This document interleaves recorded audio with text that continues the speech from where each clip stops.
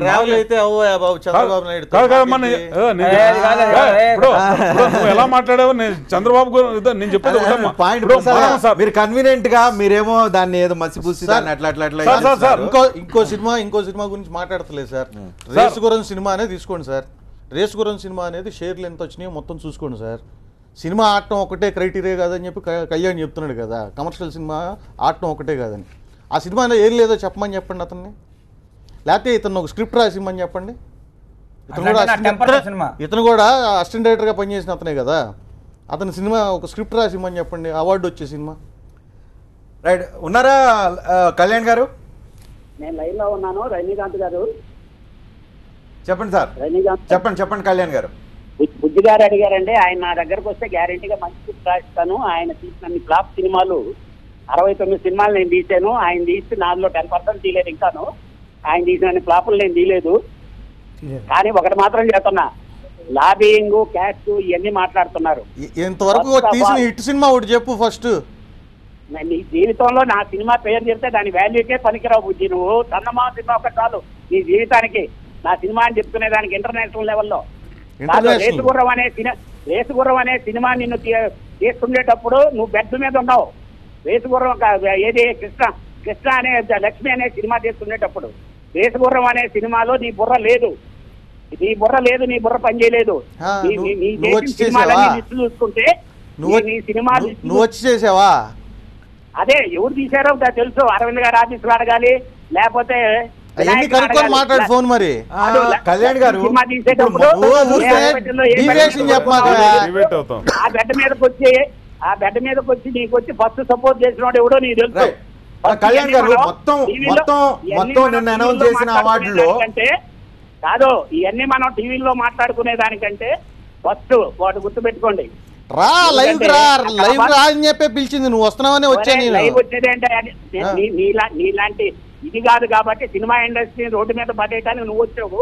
నువ్వు ఇందాక అన్నావు నీ జీవితంలో నేను కూర్చున్న ఒక్క టైర్ ఒక్క సీట్లో నేను కూర్చున్న ఒక్క సీట్లో నీ కూర్చో నీ జీవిత కాలంలో చిచ్చి నాకు అంత దౌర్భాగ్యం పట్టలేదే బాబు.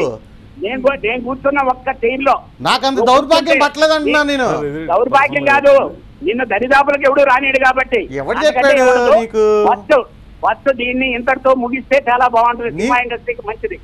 అది గుర్తుపెట్టుకో. ఎవడు చెప్పాడు నీకు? కళ్యాణ్ కళ్యాణ్ గారు మిగు- మీరు మీరు ముగించే సినిమా హిట్ సినిమాది తర్వాత మాట్లాడదాం. మీరు ముగించే ముందు నేను సత్యరాజ్ఞయ్యా బుద్ధి నీ క్లాపులన్నీ లెక్కేసి తీసుకో. Right, ఆరు మరి మీరు సినిమాల్లో పర్సనల్ వెళ్ళిపోతున్నారు. ఇద్దరు. కాదు ఆరు సినిమాల్లో లెక్కేసుకో నీలాగా ఎవరి దగ్గర ఉన్నా నా డైరెక్టర్ దగ్గర నేను డబ్బులు వసూలు చేయలా. నా హీరోల దగ్గర నేను డబ్బులు వసూలు చేయలా. నేను నా టెక్నీషియన్ దగ్గర నేను ఎప్పుడు డబ్బులు వసూలు చేయలా. ఏమయ్యా నువ్వు దాసనారాయణ దగ్గర ఎంత డబ్బులు వసూలు చేసావు మాకు తెలియదు ఏంటి? ఆయనకి నువ్వు ఒకసారి వచ్చి కనుక్కుంటే తెలుస్తుంది. టీవీ ముందు మాట్లాడే వాళ్ళ ఫ్యామిలీలో అడిగితే చెప్తారు. వాళ్ళు చెప్పబట్టే తెలుస్తుంది లేకపోతే నాకు తెలియదు కదా. ఒరే ముందు ఎందుకన్నా? నువ్వు పిలుచుకో లైన్లో పిలుచుకొని అడుగు. లేకపోతే నేను అఫీషియల్ అఫీషియల్గా స్టేట్మెంట్ ఇప్పిస్తా నువ్వు ఇప్పించు రేపే రేపే ready right right right Kalyan గారు లాబింగ్ జరగలేదు అంటున్నారు మీరు. వేరే వేరే విభేదాలు లేవు అని అంటున్నారు. ఏమి లేకపోతే ఒక హార్ట్ బర్నింగ్ ఎందుకు ఇండస్ట్రీలో ఒక గ్రూప్ వస్తూ ఉంది? సార్ ఒక్క మాట ఒక్క మాట రజనీకాంత్ గారు. నేను చైర్మన్గా మొన్న ఆస్కార్ ఆస్కార్ దీనికి పంపారండి. ఆస్కారా? కళ్యాణ్ గారు? ఆస్కారా? అంటే వాల్యూ అదే నీకు తెలిస్తే కదా ఆస్కార్ ఏంటో దీనికి ఏంటో. దా- ఆ మాత్రం నీకు నవ్వుతారే బాబు? టీవీల ముందు. ఆ ఆస్కార్ ఇస్తున్నారంటే జనాలు నవ్వుతారు టీవీల ముందు. ఫోరిన్లో ఉన్నావు నువ్వు. ఫోరిన్లో ఉన్నావు. ఫోరిన్లో ఉన్నావు. ఉన్నా అక్కడ. కాదు, హీరోకి, నా సినిమాకి- మాట్లాడటం కాదు. ఎందుకంటే. నువ్వు మాట్లాడుతుంది. ఏంటి? నేను మాట్లాడుతుంది ఏంటి? మా హీరోకి రాలేదు. మా సినిమాకి రాలేదు. ఏవయ్యా నీ హీరోకి రావాలని అడగకూడదు ఫస్ట్. ఏంటంటే. ఏ సినిమాకి రావాలి ఏ క్యారెక్టర్ రావాలని మాట్లాడు. నీ హీరో నా హీరో కాదు ఏ హీరో అయినా అక్కడ సినిమా చేసిన. ప్రతి హీరో నా హీరోనేనయ్యా. నేను నీ హీరోకి రాలేదని అడగకూడదు.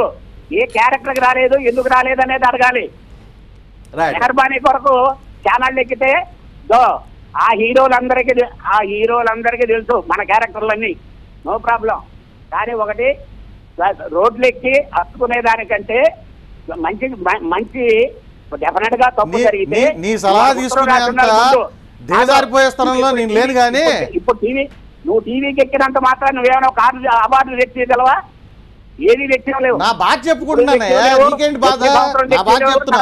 నువ్వు ఆస్కార్ పనిలో ఉండు. ఒరే ఆస్కార్ పనిలో ఉండు. టీవీలో పేరు చూపించుకుంటే కాదు రైట్ ఆయన పాయింట్ అంటున్నాడు. హీరోలకి ఎవరికి లేదు బాధ? మధ్యలో వాళ్ళకి వచ్చింది అనేది. సార్ మా హీరో ఏదో మా అతను షూటింగ్లో అతను ఉన్నాడు. అసలు అతను ఈ విషయాలన్నీ ఏం తెలియదు అంటే అవార్డులు అనౌన్స్ చేసిన తర్వాత? అవార్డులు తెలిసి ఉంటది కానీ హీరోలు కూడా సేమ్. ఇదే ఫీల్ అవుతున్నారు అని అంటే సబ్జెక్ట్ వేరేగా ఉంటుంది. డెఫినెట్గా ఫీల్ అవుతారు సార్. ఎందుకంటే కష్టపడి ఒక సంవత్సరం పాటు వాళ్ళు కష్టపడి సినిమా చేస్తారు. వాళ్ళకి వచ్చేది ఏంటండి? లాస్ట్కి మాకు ప్రొడ్యూసర్కి వచ్చినట్టే ఒక అవార్డు వచ్చింది అనుకోండి వాళ్ళకి కూడా బెస్ట్ యాక్టర్ అని. ఇప్పుడు అల్లు అర్జున్ కెరియర్లో వంద కోట్లు దాటిన ఫస్ట్ సినిమా. అతను రావాలని కోరుకోవటంలో తప్పు లేదు కదా. అంటే కలెక్షన్స్కి డేస్ ఎన్ని రోజులు ఆడిందనే దానికి అవార్డులకి లింక్ లేదనేది నా నమ్మకం. అంటే డేస్లు ఇవన్నీ ఇప్పుడు లేవు సార్.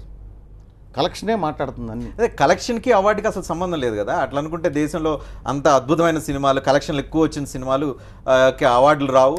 అవార్డు సినిమాలు ఒక వారం రోజులు కూడా సినిమాలు ఆడిన దాఖలాలు లేవు. అంటే- చాలా డిఫరెన్స్ అంటే ఉంటుంది. ఇప్పుడు లెజెండ్ అనే సినిమా మరి ఏ- ఏ కేటగిరీలోకి తీసుకుంటారు చెప్పండి